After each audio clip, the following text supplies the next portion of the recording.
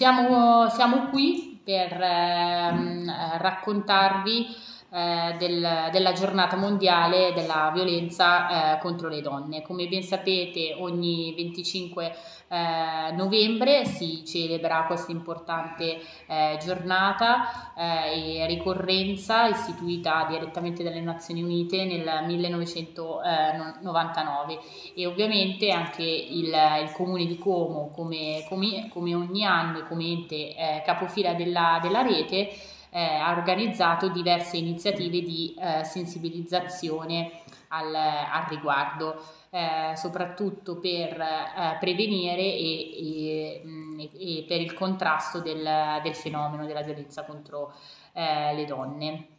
Eh, I vari partner sono qui rappresentati nel eh, presidente del COF Ornella Gambarotto e la direttrice del, del COF la dottoressa Mancinelli, in più abbiamo anche come altri partner eh, la Regione Lombardia, eh, la Questura di, di, Como, Telefono Donna, Luna e le altre, Casa di Orientamento Femminile che per questo biennio 2022-2023 sono i partner del progetto.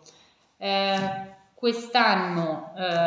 come anche l'anno scorso, abbiamo eh, voluto coinvolgere eh, le scuole perché comunque sono fondamentali e, e sono per noi ehm, un punto eh, cardine da dove partire per raccontare e anche soprattutto prevenire il fenomeno della, della, violenza. E abbiamo indetto come l'anno scorso un, un concorso dal nome Fai sentire eh, la tua voce, scegli il rispetto e la, e la gentilezza, è rivolto a tutti gli studenti e le studentesse di scuole secondarie di, di secondo grado e dei centri di formazione pro, eh, professionale con sede eh, in provincia di, eh, di Como.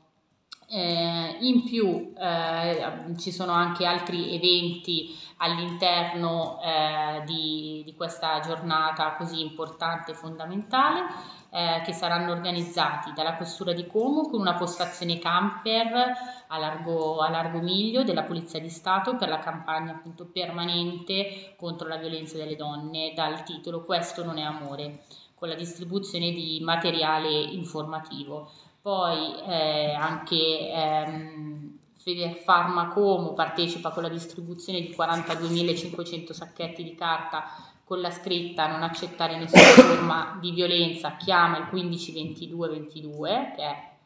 importantissimo e poi martedì 30 novembre alle 14 a Villa Gallia ci sarà un convegno rivolto alla cittadinanza e alle imprese. Eh, come ente organizzatore abbiamo l'associazione Donne Giuriste che fa parte anche anche loro della, della rete, eh, della sezione ovviamente eh, di Como. Ora eh, lascio la, la, parola all'assessore Quagliarini, nonché anche assessore alle pari opportunità, per spiegarvi eh, più nel dettaglio il, il concorso, eh, anche perché quest'anno ci sono state un po' di, eh, di modifiche e di questo siamo molto felici. E poi volevo fare un, un ringraziamento eh, anche alla dottoressa Frigerio e alla dottoressa Cezza che purtroppo eh, non, è, non, è, qui presente eh, per il lavoro svolto perché tutto quello che vedete qui c'è tutto il coordinamento da parte sia della dottoressa Frigerio che della dottoressa Cezza. Allora, più nel dettaglio un attimo in che cosa ha consistito il concorso quest'anno. Allora, il Comune di Como, come capofila della rete antiviolenza, promuove il concorso Scegli il rispetto alla gentilezza, fai sentire la tua voce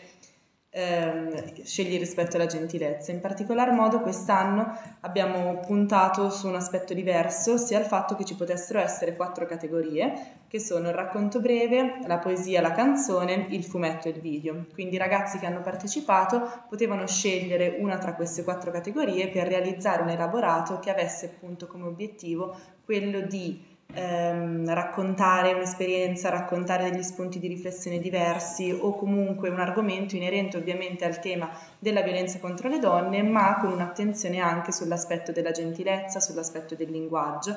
perché il nostro obiettivo è proprio quello di partire dai ragazzi, eventualmente poi in futuro anche da persone di età più piccola, da fasce d'età più basse, perché è proprio da questo punto di vista che bisogna partire per far capire ai ragazzi e eventualmente anche poi ai bambini l'importanza delle parole gentili, l'importanza del rispetto dell'altro, temi che poi purtroppo se non approfonditi a quest'età possono sfociare in episodi di violenza, in questo caso di violenza contro le donne. La giornata del 25 novembre 2022 ospiterà presso la Biblioteca Paolo Bersellino di Como la premiazione del concorso dalle ore 10 alle ore 12 dove oltre alle autorità presenti eh, ci saranno anche alcuni artisti, ovvero Elena Iello, Claudia Fontana, Sabrina Gandoli e Simone Sabogin. Quindi sarà una giornata dove verranno premiati i i lavori svolti proprio dai ragazzi e quando parliamo di ragazzi ci siamo rivolti alle scuole secondarie di secondo grado e ai centri di formazione professionale con sede nella provincia di Como, di modo tale da eh, concludere la giornata facendo sì che in realtà i ragazzi possano portarsi qualcosa dietro durante tutti i giorni dell'anno. Questo perché ovviamente il 25 novembre è un giorno significativo, è un giorno importante, ma purtroppo